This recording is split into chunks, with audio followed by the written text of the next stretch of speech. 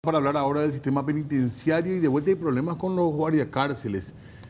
Atención a esto, son más de 800 funcionarios del sistema penitenciario que exigen que se les restituya el pago de un subsidio alimentario o de lo contrario amenazan con ir a huelga desde el próximo lunes.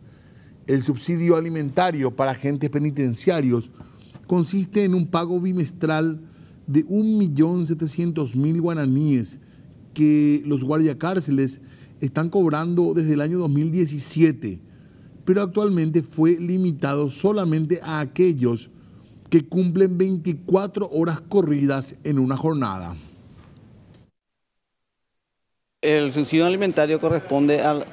Eh, fue una lucha sindical que se consiguió para todos los funcionarios que hacemos eh, oficina en las penitenciarías. Es un beneficio que cobramos bimestralmente. Y el del primer bimestre, que fue en febrero, se, se cobró, pero ya por la vía de sección se nos pagó.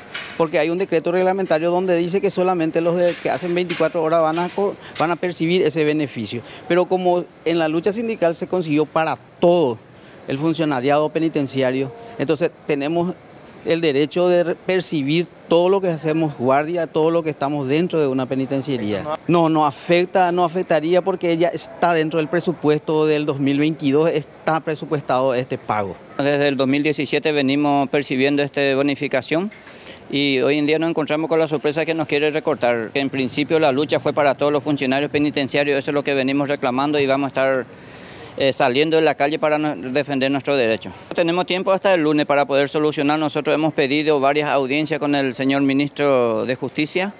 Hemos pedido la audiencia, una mesa paritaria para poder dialogar y tratar de, llegar a una conclusión favorable para los funcionarios, ¿verdad? Y hasta hoy en día no, no tenemos respuesta de ese, de ese pedido. Y bueno, están los compañeros desprecarizados que necesitamos que sean nombrados. Tenemos la gente, los contratados que tienen un descuento del 10% por un decreto reglamentario, ¿verdad? Eso también queremos queremos dejar sin efecto porque ellos firmaron un contrato y se le está pagando con un descuento del 10% que es ilegal para nosotros.